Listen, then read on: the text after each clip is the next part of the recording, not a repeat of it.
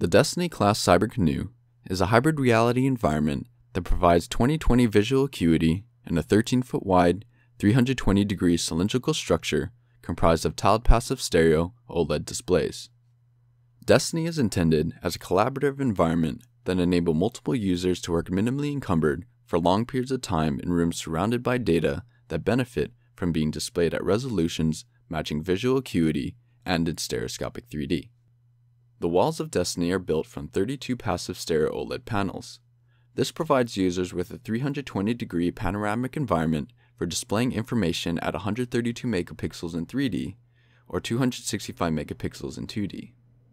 Normal passive 3D panels align the pixels of the display with the circular polarization layer in front of the screen.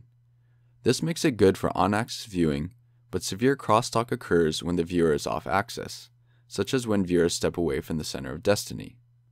To compensate for this, we blend away the crosstalk using a novel GPU color subtraction method to maximize the viewing volume. Destiny is driven by an 8 node, high performance compute cluster and a 4 camera optical tracking system, which allows Destiny to draw the 3D world from the point of view of the tracked viewer. Destiny creates new opportunities for users to collaborate using both 2D and 3D.